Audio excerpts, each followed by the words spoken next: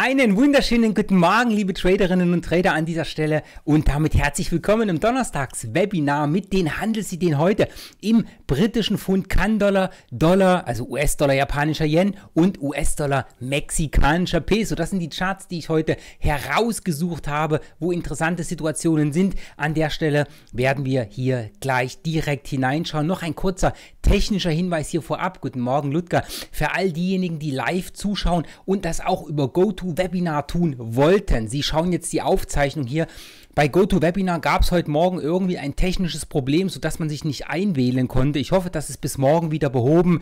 Äh, wir bitten da um Entschuldigung. Manchmal können wir der Technik halt auch nicht Einhalt gebieten, wenn wir da von Drittanbietern abhängig sind. Das passiert sehr, sehr selten, aber es ist passiert. Ich hoffe, morgen geht dann wieder alles und bitte um Entschuldigung für die Unannehmlichkeiten an dieser Stelle. So, nun zurück zu den heutigen Handelsideen hier, die wir besprechen. Vorab allerdings der Risikohinweis, der Handel mit Devisen und CFD CFDs auf Margin kann zu Verlusten führen.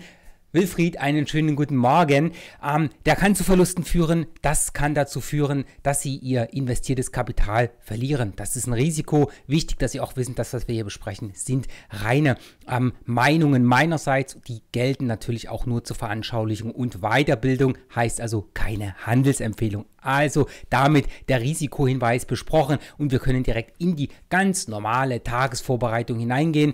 Wir starten mit den Tagesnachrichten. Wir hatten heute um 8 Uhr die Handelsbilanz in Deutschland. Die war leicht unter der Prognose. Das heißt, der Überschuss war nicht ganz so hoch. Ich schaue noch mal ganz kurz ins System rein. Wir hatten hier äh, die Prognose bei 18 und dann waren wir bei 17,6 Billionen. Also etwas drunter wird den Herrn Trump freuen, wenn er solche Zahlen entsprechend hört. Gut, was gibt es heute noch? Heute ist der Tag der FOMC bzw der FED. Wir bekommen um 20 Uhr heute mal ausnahmsweise am Donnerstag, ne, äh, bekommen wir die Informationen hier seitens der FED die Zinsentscheidung, man geht nicht von einer Zinserhöhung aus. Wichtig ist wie immer, wenn die Fed auch tagt, was wird denn drumherum erzählt. Ich kann mir vorstellen, dass der sinkende Ölpreis hier etwas Entspannung in die ganze Inflationsgeschichte bringt, aber ja, wir werden hören, was die FED entsprechend ja heute Abend um 20 Uhr hier mitteilt. Was gibt es noch im Laufe des Tages? Es gibt um 10 Uhr den Monatsbericht der EZB,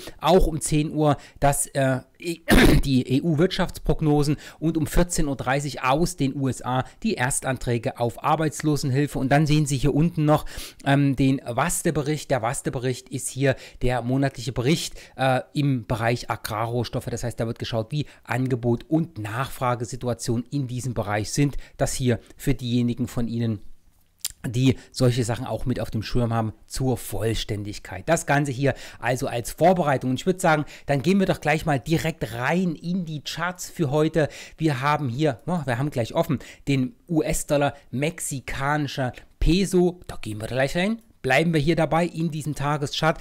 Sie sehen hier, ja, wieder mal ein Muster.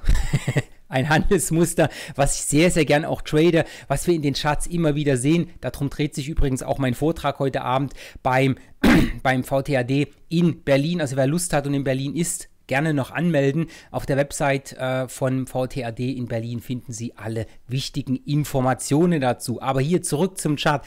Wir sehen hier einen wirklich sehr, sehr schön laufenden Aufwärtstrend mit einem starken Schub nach oben. Sie sehen das hier. Eins, kurze Pause, zwei, richtig Krach dahinter.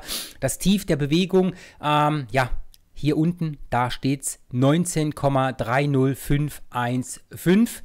Also, hier schiebt es den Markt runter. Die Korrektur, die kann ohne weiteres noch bis hier runterlaufen, kann, ja, ohne den Aufwärtstrend kaputt zu machen, heißt an dieser Stelle, läuft weiter schön im Kanal. Aber, und das ist jetzt das Coole an der Geschichte, der Markt hat uns gestern schon mal gezeigt, hm, schau doch mal her, lieber Trader, es könnte unter Umständen sein, dass die Nachfrage umkehrt und wir jetzt nach oben laufen und dieses Korrekturmuster nach oben durchbrechen. Wenn dem so ist, dann haben wir hier auf der Oberseite ein paar interessante Tageshochs liegen. Dann können wir hier oben, wenn sich dieser Trend fortsetzt, mit auf alle Fälle mal dem Anlaufen dieser 2046 986 rechnen. Das heißt, die Tageshochs, die wir hier liegen haben, Das ist äh, zum einen mal die, warten Sie mal, das muss ich jetzt mal nehmen. Ich bin, ich komme mit dieser, mit dieser äh, kleinen Schrift und der roten Farbe dahinter immer relativ schwierig klar, deshalb mache ich es mal so. Also 19,96 in diesem Bereich hier oben, dann haben wir das nächste bei ähm, 20,13769. Hier das nächste Tageshoch haben wir um die 20,22354 und dann gibt es hier kurz vorm Peak da oben noch bei 20,33 äh, was haben wir hier oben? Jetzt bin ich verrutscht da haben wir es 20,34450. Das sind die Punkte, die hier oben hin liegen, wo wir den Markt wirklich schön nach oben hin mit reinnehmen können. Ähm, nach unten, wie schon gesagt, die Korrektur kann sich noch etwas weiter ausdehnen. Aber wir haben gestern das erste Mal ein Signal bekommen, dass es höher gehen konnte. Und Sie wissen das. Ich gucke mir da gerne die untergeordneten Zeiteinheiten an. Und was wir hier sehen, ist sehr, sehr schön. Ich mag das, was wir hier sehen. Wir sammeln uns sozusagen gerade hier unter diesem wichtigen Punkt. Wenn wir uns mal diese Hochs hier nehmen. Ich nehme mal ganz kurz diesen Kanal hier raus. So, und dann verbinden wir einfach mal. Also äh, für das, für das reine Trendbetrachten spielen natürlich immer ähm, ganz normal äh, die wichtigsten äh, Punkte eine, eine Rolle. Und zwar sind das die hier in diesem Fall die Korrekturs. Das heißt, da muss der Markt auf alle Fälle drüber, äh, um das Ganze wegzuwuppen. Das heißt, hier haben wir schön die Abwärtstrendlinie. Ich muss ihn jetzt nur noch mal richtig ziehen hier von oben von diesem Hoch, wenn man das mal nimmt. Äh, und diese, diese Tiefpunkte hier verbindet. Wer das macht, der sieht halt schon, der Markt ist jetzt schon schon drüber rausgegangen. Wir haben den Abwärtstrend noch nicht beendet, aber das ist schon mal ein sehr, sehr schönes und interessantes Zeichen hier an dieser Stelle, dass der Markt hier drüber will und nicht gleich wieder abfällt. Ne? Und hier wäre dann der Anlaufpunkt für diejenigen von Ihnen, die auf Nummer sicher gehen wollen, die warten einfach, bis dieser Trend hier tatsächlich auch äh, komplett rausgenommen ist. Diejenigen, die schon eher rangehen, die sagen sich, okay, wir sind zwar noch im Kanal, aber wenn wir das Ganze hier sehen, es ist ja schon gebrochen, was das Ganze hier angeht. Ähm, der Trend ist valide, da kann man jetzt die diverse Strategien auch traden und das Ganze hier anpacken, je nachdem, wie es zum eigenen Risikomanagement entsprechend auch passt. Und wie schon gesagt, die Punkte auf der Oberseite, die liegen ja jetzt fest. Sven Walden, auch dir einen schönen guten Morgen von meiner Seite. Ja, das also zum US-Dollar mexikanischer Peso. Dann gehen wir nochmal in die nächste Währung. Bleiben wir gleich mal mit dem US-Dollar hier verbunden und schauen mal auf den US-Dollar-Yen. Auch eine sehr, sehr wichtige Währung ähm, in unserem weltweiten Währungssystem hier an dieser Stelle. Stelle. Und was sehen wir? Wir sehen ja einen wunderbar aufwärts laufenden Markt hier an dieser Stelle. Schauen Sie, wir sind hier schön nach oben gelaufen. Dieser untergeordnete Abwärtstrend ist auch nach oben gegangen.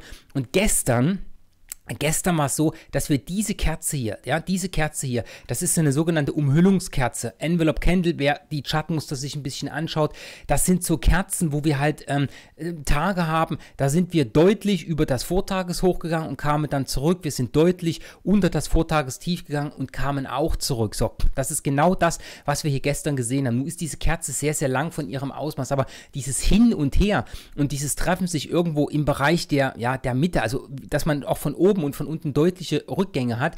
Das zeigt so ein bisschen ein wenig die Unentschlossenheit der Händler. Aber man kann am Kerzenkörper von gestern auch schon erkennen, ähm, die Unentschlossenheit löst sich wahrscheinlich, weil wir hier weiter in der Bewegung nach oben sind, in wohlgefallen nach oben auf. Das heißt, hier sind wir jetzt an der Situation, dass dieser Schub nach oben durchaus weiterlaufen kann, wenn der Markt hier nach oben läuft, was er ja momentan auch tut. Er muss sich halt entscheiden. Wichtig ist halt, dass er hier oben drüber geht, dass wir wirklich die Entscheidung haben, okay, wir werden da oben nicht nicht wieder schwächer.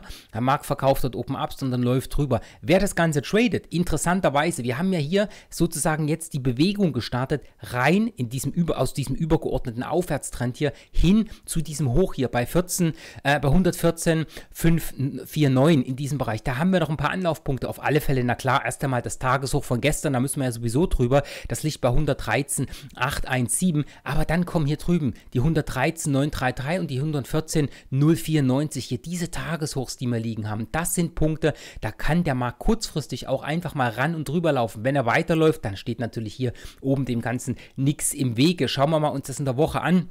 Wir sind halt in der Woche hier oben in diesem Widerstandsbereich. Wenn wir hier oben dran laufen bei 114, 5 führen, wenn das gewuppt wird, dann haben wir hier drüben, schauen Sie, hier haben wir die nächsten Anlaufpunkte in diesem Bereich. Ich ziehe mal ganz kurz hier ein Widerstandslevel rein. Hier oben, das ist die Marke, die wir dann haben und das ist der Bereich so ungefähr, wo haben wir es? Ich lege es mal rein hier, das haben wir wo, so ungefähr 115,6 in diesem Bereich.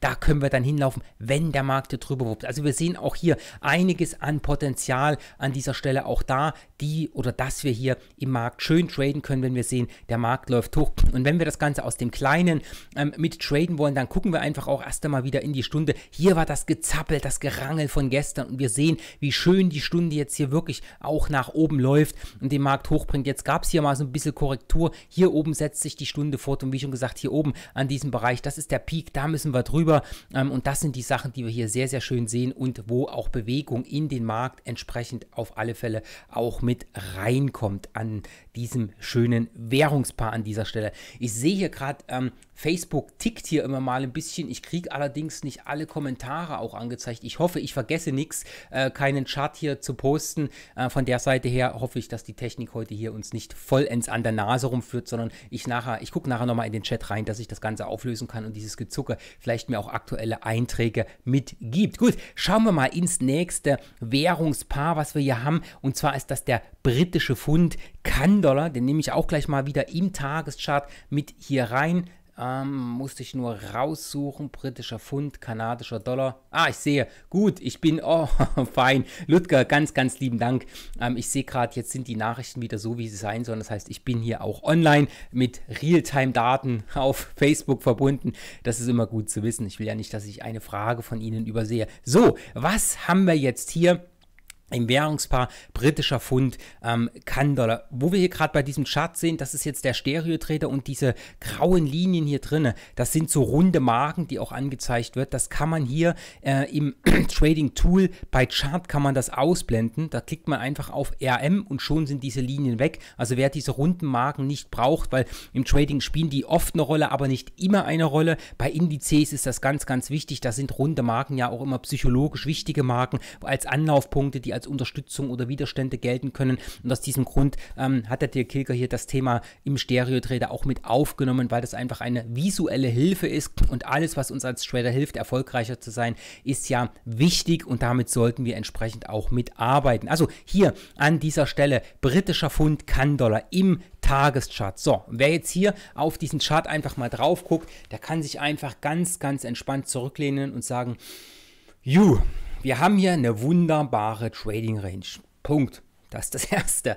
So, übergeordnet, naja, wir haben nicht richtig Fleisch, nicht richtig Fisch. Der Markt kann hier schön nach oben laufen, der Markt kann aber wieder nach unten laufen. Das bringt uns jetzt als Händler in die Situation zu sagen, hm, also entweder wir machen ein Range Trading als Strategie, das heißt, man tradet von oben nach unten und von unten nach oben und das am besten von den Extremseiten. Eine Idee. Zweite Idee, wenn der Markt uns sagt, ach nö, keine Lust nach unten zu laufen, dann machen wir halt den Range-Ausbruch nach oben. Das zeigt uns der Chart jetzt hier an an dieser Stelle. Und da kommt wichtige Bedeutung hier auf diesen Bereich hier um die 1,72,849. Das ist das Hoch hier dieser letzten Bewegung gewesen. Gestern sind wir wieder in den Bereich reingelaufen und intraday schon mal wieder runtergelaufen. Heute, ja gut, der Tag, der fängt erst an. London kommt erst rein. Da kann die Tagesbewegung auch noch losgehen. Aktuell ist hier einfach Langeweile. Ich mache mal ganz kurz auch noch diese Anzeigen raus, ähm, was äh, die Bid- und Ask-Spannen angeht. So, dann haben wir auch Platz im Chart. Das brauchen wir jetzt hier an dieser Stelle nicht, um den Chart zu besprechen. Hier sehen wir halt, jetzt ist aktuell Verharren. Aber wenn wir hier wieder diese Abprall-Dynamik reinbekommen nach unten hin, dann wird diese Kerze ziemlich schnell nach unten laufen. Und dann haben wir hier erstmal zumindest kurzfristige Anlaufpunkte nach unten hin. Und das sind hier die Tagestief bei 1,70770. Und hier unten, diese beiden sind sehr nah beieinander über den Daumen grob bei 1,69764 hier in diesem Bereich. Das sind mal Anlaufpunkte, wo wir kurzfristig zur Unterseite hingehen können. Der Markt, der kann ja jetzt an dieser Stelle hier einfach einen kurzen Rücksetzer machen und dann irgendwann wieder rumdrehen, um den Anlauf nach oben zu nehmen. Das ist die eine Geschichte. Der Markt kann aber allerdings auch einfach das machen, dass er nach unten läuft von der Stelle her und den Bereich, das muss sich erst entscheiden. Da, da, das ist hier an dieser Stelle wichtig, dass wir da warten, was der Markt entsprechend macht und uns dann hier entsprechend auch mit anpassen. Und da können Sie sich auch wieder, ich weiß, das ist langweilig, weil ich immer dasselbe mache. Äh, ich kann Ihnen dazu aber sagen, Trading ist langweilig, auch wenn das am Anfang immer noch so ein, so ein emotionales Geschehen ist. Aber ja, wenn Sie es lang genug machen und Sie genau wissen, auf was Sie zu achten haben, dann ist das Routine. Routine gleich Langeweile, immer das Gleiche zu tun. Es ist auf den ersten Blick für den Außenstehenden langweilig. Börsenhandel ist nicht langweilig, aber es ist einfach schön, wenn man diese Routine hat und damit seine Geschäfte entsprechend auch machen kann. Deswegen gucken wir jetzt wieder in die untergeordnete Zeiteinheit und schauen einfach nur mal ganz kurz, was wir in der Stunde sehen wollen, um einen Abpraller zu sehen. Ne? Wir sehen jetzt hier schön diese Aufwärtsdynamik. Die lässt jetzt hier oben an diesem Niveau nach und der Markt, naja, er tingelt so ganz normal hin und her. Wenn wir jetzt allerdings hier in den, in der Stunde die ersten Tendenzen sehen, drunter zu laufen. Ne? Wir haben ja hier unten an dieser Stelle, hier, dieses Tief. Wenn wir das unterschreiten, ja, dann ist ja der, der Schub nach oben rausgenommen. Ne? Wir sind ja hier oben, naja, wir sind nahezu auf dem gleichen Level geblieben. Ne? Wir hatten hier bei dieser Kerze, wo die Maus jetzt steht, das war die Kerze von 7.11., 17 Uhr, die hatte ihr Hoch bei 1,72,5 6,3. So, und hier drüben, das Hoch an dieser Kerze war bei ähm, 1,72,562. Also 5,62 hinten äh, und 5,63. Ja, na klar, es ist ein, ein Deut höher, aber, aber nicht wirklich. Das heißt, ähm, es ist schon dann die Dynamik da, dass der Markt hier dann uns sagt, er geht eher nach unten. Das heißt, wir haben dann hier an dieser Stelle sozusagen, hoppala, das wollte ich nicht haben, wir haben dann hier an dieser Stelle sozusagen hier erste Abwärtsdynamik nach unten gesehen. So, hier sind wir oben rangelaufen äh, an dieser Stelle noch einmal und, und haben ja hier nicht wirklich deutlich hochgekauft. Und wenn wir jetzt sehen, dass wir unten drunter laufen, dann haben wir was? Wir haben dann einen Abwärtstrend. So, und dieser Abwärtstrend, der wäre dann erst einmal zumindest kurzfristig ein Zeichen, dass der Markt nach unten gehen möchte. Das heißt, das ist das, was wir hier sehen. Gut, hier sehen wir jetzt an der Stelle nichts, das kann ich also rausnehmen. Das ist das, was man dann hier sehen wird. Wir würden dann sozusagen unter dieses Tagestief drunter laufen und hier etwas Dynamik nach unten sehen. Und das, das kann man schön traden. Beispielsweise Anlaufpunkt, wenn wir tatsächlich unter das Tagestief von gestern drunter laufen laufen, dann wäre hier Anlaufpunkt nächstes Tagestief und das kann man dann beispielsweise auch sehr schön, wer sich hier Trends zur Hilfe nehmen möchte, über die Trends in den 5 Minuten beispielsweise auch sehen. Da sehen wir dann wirklich auch die Abwärtsdynamiken, die wir haben hier oben sehen wir schön den Hochlauf. Dann gab es ja auch diesen Bruch, nochmal den Hochlauf. Jetzt laufen die fünf Minuten auch schon wieder runter. Vorsicht, aber wir haben in der Stunde noch keinen Abwärtstrend. Aber wenn wir unter das Tagestief drunter laufen und die fünf Minuten sich hier weiter nach unten gehen, das wäre natürlich kurzfristig schön dafür geeignet, um aus Sinne ähm, der laufenden Bewegungen nach unten den ein oder anderen Schnipsel an Bewegung mit herauszuziehen. So, jetzt schaue ich noch mal ganz kurz rein in die Fragen im Chat. Da gibt es heute nichts an dieser Stelle. Dann möchte ich mich ganz, ganz herzlich bedanken für die Aufmerksamkeit. Morgen ist Freitag. Ähm, da gibt es im Normalfall immer so ein bisschen edukativen Part. Aber jetzt aber, also ich habe jetzt für morgen kein deutlich stark edukatives Thema ausgearbeitet. Einfach aus dem Grund, ähm, wir sind hier in Deutschland und wir haben in Deutschland nicht überall die beste Internetverbindung. Und es wäre blöd, wenn wir hier viel ausarbeiten und dann steht die Internetverbindung morgen nicht so. Ich gehe mal ganz stark davon aus, dass alles gut laufen wird. Aber wir machen morgen halt in diesem Webinar morgen früh machen wir einfach mal einen weiteren Check und dann, ähm, ich würde sagen, wir plaudern morgen einfach mal so ein bisschen über das Thema ähm, Money Management. Warum möchte ich das tun? Ich hatte jetzt in den letzten Tagen wieder mit ein paar Händlern Kontakt. Ähm, die haben, naja, wie soll ich sagen, milde ausgedrückt, äh, Kaufpanik. Und Kaufpanik ist immer blöd, weil wenn Sie sich mal diese Indizes hier angucken, gucken wir uns mal beispielsweise den SP 500 an. Die wollten gern hier unten rein. Jetzt stehen wir hier. Das ist ein Problem. Und diese Probleme, die können Sie umgehen dann gibt es Stellschrauben, wie man einfach sowas, wie man trotzdem dabei ist. Ähm, und das kann man sehr, sehr schön übers Money Management regeln. Und ähm, das hat auch einen riesengroßen Vorteil, man ist nämlich nah am Markt. Viele sagen sich nämlich, uh, hier unten, na, der Markt, der läuft ja hier total tief runter. Long, ach nee, das können wir nicht machen. Ist ja, ist ja, Im besten Falle haben sie ja den Abwärtstrend erkannt, was ja auch richtig ist. Ist ja auch gut. Und trotzdem sehen sie dann das und überlegen, ach manch, wie hätte man denn dabei sein können, ja? Ich habe das früher auch nicht gepackt. Ich stand in solchen Situationen in, ich würde mal sagen, 99 von 100 Fällen stand ich an der Seitenlinie und habe es einfach verpennt und habe mich geärgert. Mittlerweile weiß ich, wie das geht, äh, wie man an solchen Situationen auch reinkommt. Das kann man mit dem Money Management machen und noch ein bisschen mehr Da plaudern wir morgen einfach mal drüber. Wenn Sie das interessiert, wenn Sie mögen, einfach mal kurz einen Hinweis geben hier auch im Chat, wenn das ein interessantes Thema ist, würde ich mich freuen. Und ähm, ansonsten allen einen schönen, erfolgreichen Handelstag. Ähm, ich bin heute Nachmittag in Berlin. Wenn der US-Handel aufmacht, sitze ich im Hotel, habe dort meine Trading Station aufgebaut und kann dort das Traden dann machen, ähm, sofern die Netzverbindung gut ist. Und dann habe ich heute Abend schön den Vortrag hier. Meister der Muster, wen das interessiert, gerne wer in Berlin ist, einfach noch mit reinkommen. Ansonsten allen einen schönen schönen Tag. Wir hören uns dann morgen wieder äh, zu den Besprechungen der aktuellen Handelsideen. Wir lesen das Ganze morgen auch hier schön wieder im Blog von Tickmill und ich hoffe mal, dass morgen auch GoToWebinar wieder ganz normal funktioniert, sodass wir auch all denjenigen von Ihnen, die entsprechend die Aufzeichnung heute leider anschauen müssen, weil es live nicht ging, wieder live dabei sein können. Also in diesem Sinne, einen schönen Donnerstag, machen Sie es gut und heute ist Fetttag. Schön aufpassen, da kann viel Bewegung reinkommen. Beim Euro, US-Dollar auf alle Fälle und vielleicht auch bei den Indizes. Also bis dahin allen eine gute Zeit. Machen Sie es gut, Ihr Max. Tschüss.